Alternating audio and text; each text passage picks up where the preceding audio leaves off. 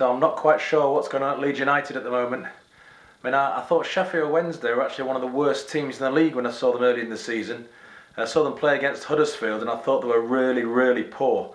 So when I saw Leeds' result the other day and Sheffield Wednesday put six past Leeds, uh, it just made me wonder how bad Leeds are playing at the moment. I mean, that was a, an absolute shocking result and I felt a bit sorry for McDermott. You know, he's a good manager, he's a good man, uh, but he'll be truly, truly hurt by this result and by Leeds' run of form recently. You know, they just can't buy a win at the moment. What they can buy, or what they can get in, is some loan players, and they have done. They've got uh, Jimmy Kebe in from uh, Crystal Palace. We know Kebe's McDermott knows him well from his Reading days. He's very quick. He's uh, looks like a runs like a 400 meter Olympic runner.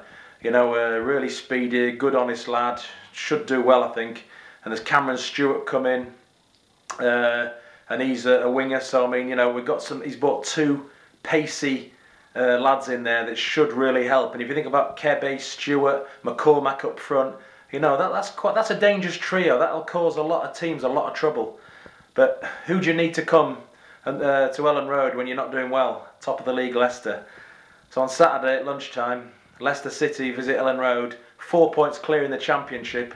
The last thing probably Leeds need at the moment, but what they probably need is a hell of a challenge. It's a hell of a challenge, but they need to beat Leicester on this lunchtime game on Saturday to really get their season going again, or, or else it's going to be big trouble.